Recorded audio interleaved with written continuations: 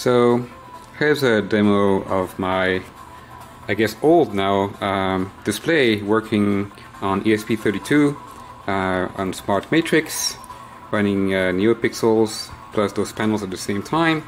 That is a slightly upgraded ESP32 uh, with flash, uh, extra flash, sorry, and extra memory that allows me to run Wi-Fi on it, and otherwise it's the same that it used to be. Now, there's a little bonus here. Is actually connected to my PC via USB, and it's sending serial commands to the PC that tells it what demo it's running, and it's saying, hey, I'm running demo number 5 the exact same code, Arduino code I have running on Linux using my uh, graphics library, which is compatible now with Linux and Raspberry Pi. So I'm running the same code on a different display, much higher resolution.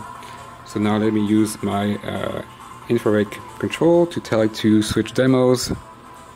And you can see that they're in sync. Of course, the uh, Linux version is high resolution, so it looks better